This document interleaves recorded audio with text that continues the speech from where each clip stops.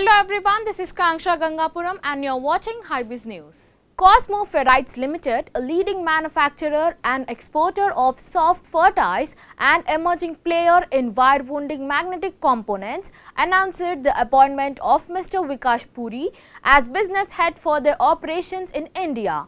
In his new role, Vikas will be responsible for diversing strategical solutions to everyday operations and will be expected to strengthen Cosmo Ferrites' presence in fast-growing ferrites market. A seasoned business leader with about 29 years of experience, Vikas holds a laurels of working in diverse areas of EMS, automotive and power electronics. In his past ventures, he has served a number of leadership roles including Business Head India of Varroc Lighting Systems, Managing Director of Marquardt Indian Private Limited, SBU Head of Minda Stoneridge Instrument Limited and Director Operations of General Electric.